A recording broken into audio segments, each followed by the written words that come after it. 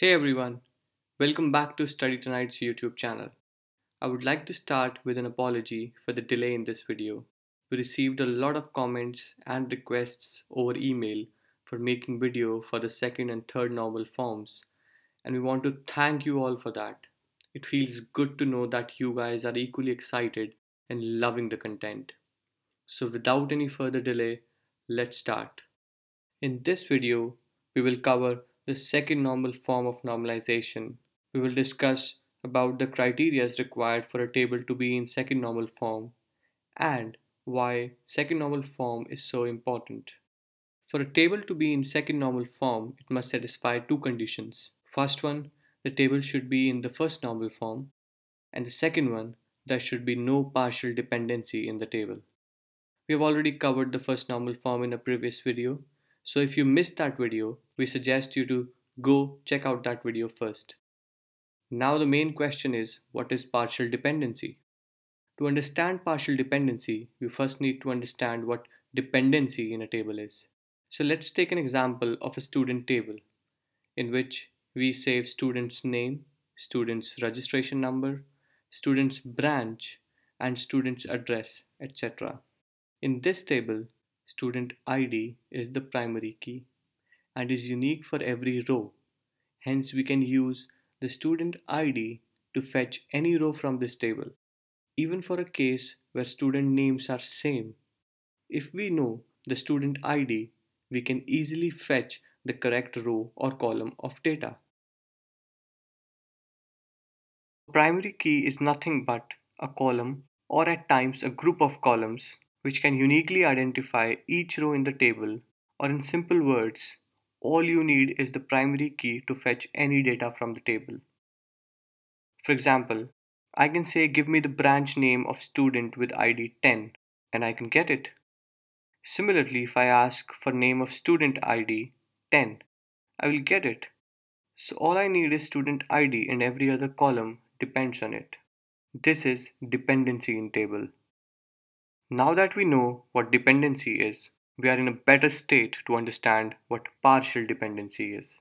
So for a simple table like student, a single column which is student ID can uniquely identify the complete row or all the other columns in a row. But this is not true all the time. Now let's extend our example to see if more than one column together can act as a primary key or not. Let's create another table for subject. In this table, we have subject ID, which is the primary key for this table, and the subject name.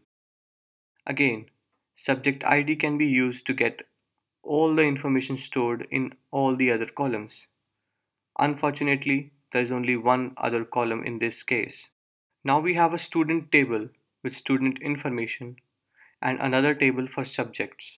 During exams, another table score is created to store the marks obtained by every student in the respective subjects. Also, name of the teacher who teaches the subject is saved along with the marks.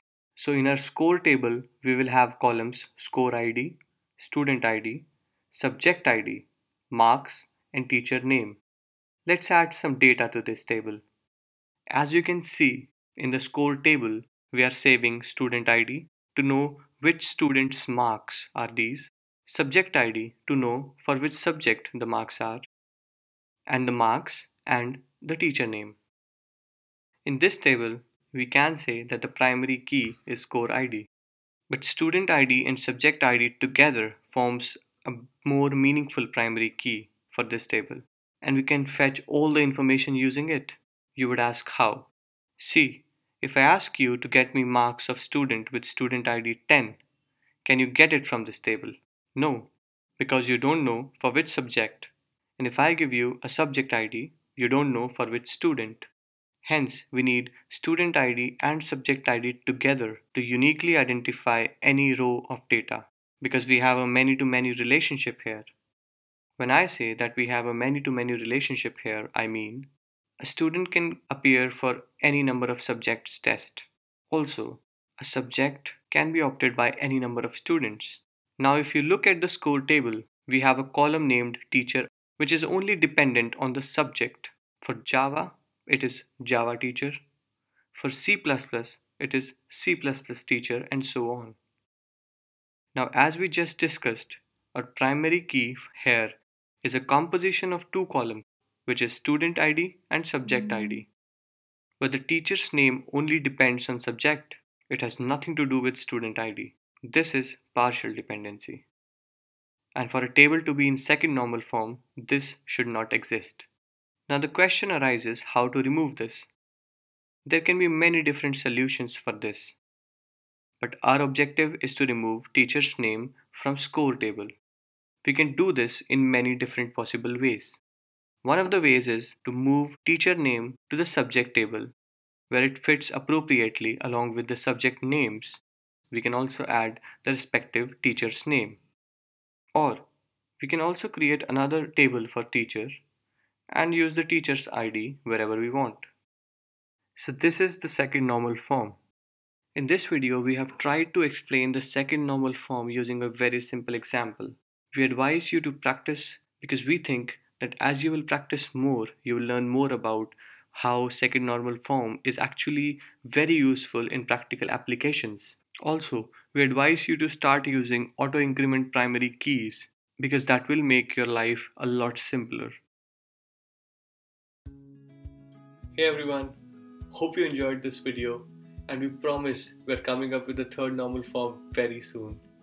Apart from that, we're also working on an entrepreneurship tutorial or course in Hindi, especially for the Indian students that we have.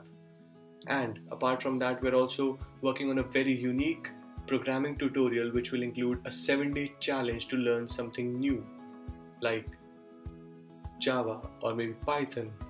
So, we will start with Unity Engine to develop games in 2D and 3D. So, stay tuned. If you haven't subscribed to the Study Tonight channel, it's time you do.